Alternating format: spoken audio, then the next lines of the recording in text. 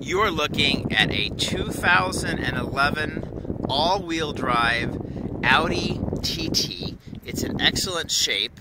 I changed the timing belt at about a lot, well, a lot of other parts like the pistons and heads in the vehicle back last fall, and I decided that it needed a new clutch because it was old at 10 years, and so I put that in. So I've put in a total of almost $8,000 into the car in the past seven months, so it is now in absolutely wonderful condition. Um, it gets great gas mileage. The tires are very new. Uh, they have probably only about a third worn right now at this point and uh, again, I said it works wonderful in the snow. The top is in perfect condition. I put a brand new top of the line top on this uh, about two and a half years ago, and so it looks new. And this is the rest of the car.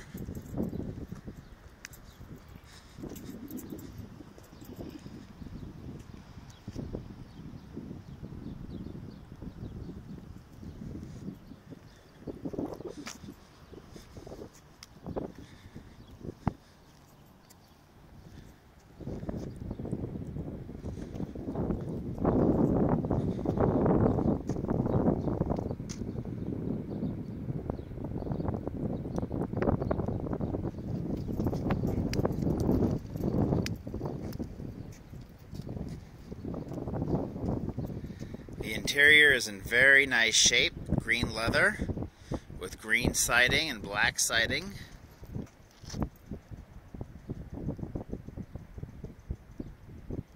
It's a very unique model with the green on green.